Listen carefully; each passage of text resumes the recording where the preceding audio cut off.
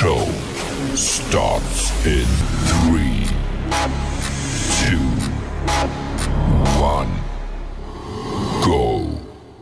Good morning, CaneSport. It's August 12th, 2021. I'm Gary Ferman, the publisher of CaneSport.com, joined as always by our managing editor, Matt Shodell, as we review the news of the day. And uh, Matt, Hurricanes got some really big news with the commitment of safety Markeith Williams. Some have him ranked a four star, some have him ranked a three star. There doesn't seem to be a universal opinion on that. But everybody I speak to about him tells me that the Miami Hurricanes just picked up a really good player. Your your thoughts? Very athletic, very versatile. Could grow into a. Some people think maybe a striker.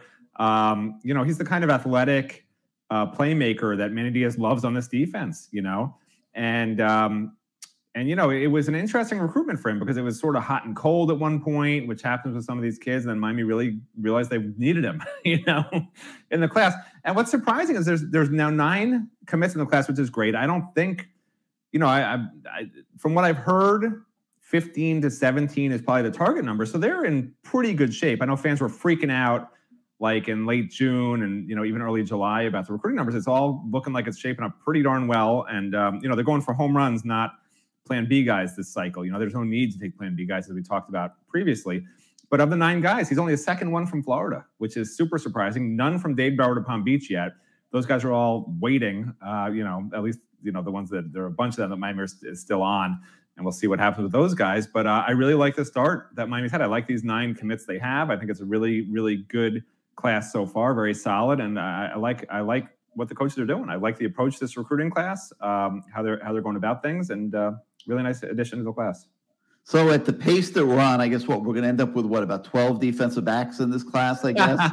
I, I, if you're not a defensive back, you don't you don't get you don't commit anymore to Miami, right? Um, wow, T. Rob and DVD have, have, just been on a tear in in recruiting, and uh, eventually, I assume the other positions will will catch up and get some commits. But uh, I, I, think they're in pretty good shape in the defensive backfield. The the scouting report that I got on Markeith is that he's a big physical kid. He's got loose hips. Um, he's agile enough to play corner, but he has the size and athleticism, and he hits like a safety.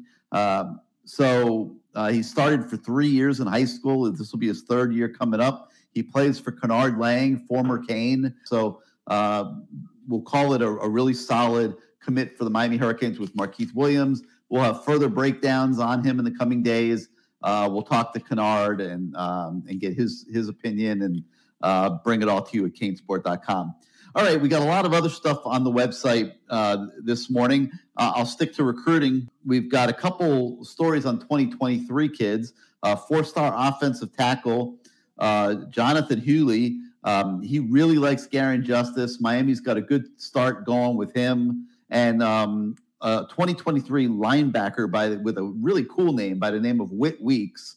Uh, he's picked up a Miami offer, and the Hurricanes have started recruiting him. So we've got stories on both those kids to get you acquainted uh, with them this morning. Um, now we start a uh, a new series today that I think you guys are going to like. We call it 15 impactful players in 15 days, and we've identified the 15 guys that we think are going to be the most impactful players for the Hurricanes this year. And we're going to be analyzing them, profiling them one one a day for the next 15 days. So we start today with number 15, DeAndre Johnson, the defensive end transfer from Tennessee. And Matt, we've got it at number 15, but when you look at how important he is to the defensive end position based on what Miami's lost and what they have coming back, uh, I would say DeAndre really could rise higher than that. Your thoughts? Yeah, I mean, as you and I went through the uh, the top 15, trying to figure out who are, you know, who's number one is pretty easy. Who's number two, three, four. You know, DeAndre Johnson, really, when you look at it, he could be at the end of the season, we might re-rate everybody, and he might be as high as number three, four, or five on this list, you know, depending how things go. I mean, he's a double-digit sack potential guy, but at the same time, he might struggle against the run. You know, that's the concern with him. So uh, a lot of upside, and I think he was one that we sort of struggled with, maybe where to put him. Maybe should he even be out be outside the top 15 until he proves himself? You know, like it's just it, he was an interesting one to try and, and figure out where he might wind up. Um, but you know, for now, I think 15 is about where he belongs. You know, the, the team's got a lot of talent, and um, and he's a guy who still has to prove it. You know what? It, it, it's not an easy one to, to really wrap your hands around because you know you want to obviously be optimistic about it, and but I mean he did come here as a transfer. He was not what you would call an impact player at Tennessee. They probably were using him out of position. He was playing predominantly linebacker, sometimes rush the passer, but uh, probably better suited for defensive end, which he'll be playing at Miami. But the, the, the truth is, he was not a high impact player at Tennessee. So we're projecting him to be that here, but we don't know until the bullets start flying how impactful he's going to be. But uh, I feel comfortable that he'll be in the top 15 impactful players on the team. Uh, he will almost certainly be the best pass rusher on the team this year, and um, we'll we'll see where he takes it from there. So uh, we introduced that series today.